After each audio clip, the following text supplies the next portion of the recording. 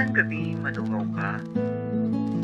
Sa bunton ng panganorin ay tanawin ang ulilat, naglalamay na bituin. Sa bitu'y itanong mo, pangalan ng aking giliw. At kung siya'y magtatapat, ngalan mo ang sasabihin. Ang bitu'y kapatid mo, kung siya ba'y nasa langit, ikaw na ditong nasa lupat, bituin ka ng pag-ibig.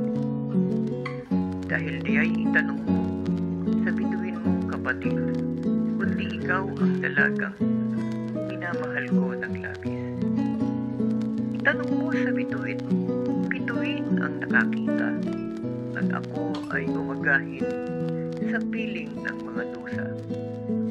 Pinagdamag ang palad ko sa pagtawag ng amada, ngunit ikaw na tinawag, lumayon at nagtago pa. Marami ng dalamhati ang tiniis ko sa buhay dahil lamang sa pag-asang papalarin balang araw. Subalit ay ang pag-asa'y nalalantang dahan-dahan ang palad ko'y yayaon na hindi mo pa kaawaan. Ay wala na. Kulang na lang ng pa marahil at sa gabi na rin ito'y bangkay akong tatanghalin. O kung ako'y matuluyan, ako'y iyong patawarin.